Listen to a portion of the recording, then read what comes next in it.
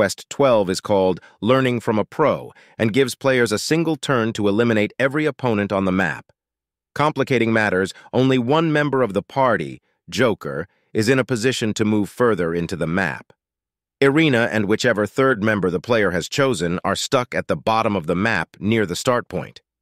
This map requires players to take full advantage of triple threats and position the group carefully to defeat as many enemies as possible with each attack. While any third-party member will work, this guide uses Morgana as the third-party member. To begin, players should move Joker onto the red elevator directly ahead of him, before swapping to Erina and having her activate the red elevator. Move Joker off the elevator and up next to the enemy before swapping back to Erina and sending the red elevator back down.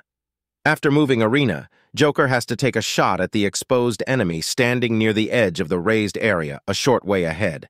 Swap to Morgana and activate the blue elevator to expose another enemy, then move Joker up to them and shoot them point blank to get another one more. Move up near Morgana's side of the battlefield with Joker, using Morgana and Erina to adjust the platforms appropriately and take a shot at the exposed enemy further ahead. Send Morgana down and have Erina raise the red elevator next to Joker, then have Morgana use Garu to knock down the enemy on the red elevator.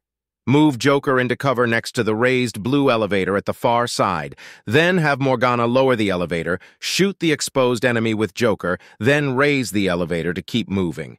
Triple threat. 1. Move Morgana and Joker into position and perform a triple threat to eliminate a huge group of enemies, as seen in the image above. Move Joker as far as possible and shoot the enemy up ahead to get one more again. Move him as far towards the other side as possible, then have Erina reposition the red elevator to expose an enemy near her and shoot it with Joker for another one more.